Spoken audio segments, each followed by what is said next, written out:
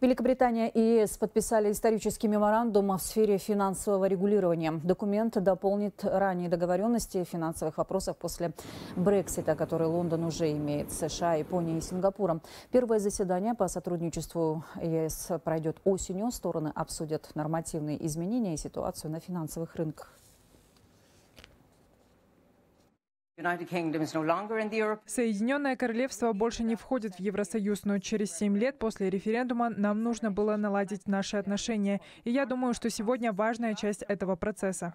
Мы также рассматриваем это как важный поворотный момент. Мы заинтересованы в глобальной финансовой стабильности. Великобритания является крупнейшим сектором финансовых услуг в Европе, и мы несем особую ответственность за тесное сотрудничество с ЕС. Обе стороны делают все возможное, чтобы обеспечить такую стабильность.